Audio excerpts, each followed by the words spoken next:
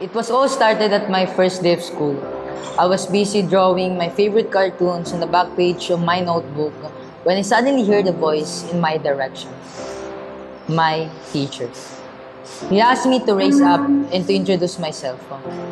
I saw all of my classmates staring at me on the corner of my eyes and I looked frozen. My hands were shaking, my knees were trembling, and my heart started to beat faster and faster. I have done nothing but to remain silent. And all of a sudden, tears ran down on my cheeks.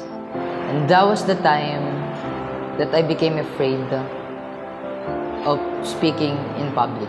As I grew older, I remained the same.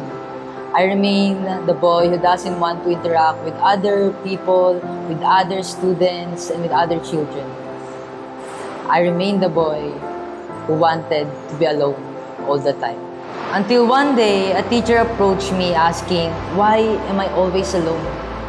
Sir, because I'm afraid to be judged by anyone else, I replied. What he said is, You need to change, and you can be afraid of change. But that leads me to a realization that if we may be secure in the pond that we are in, but if we never get out of it, we will never realize that there is an ocean, a sea around. So I did change. I decided to take that step, to do something about it, and to find a solution. I started asking some people around who's more confident than I.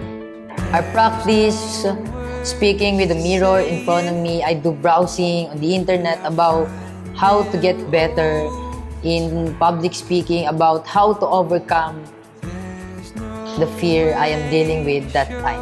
All throughout, I realized that it wasn't hard as what I thought.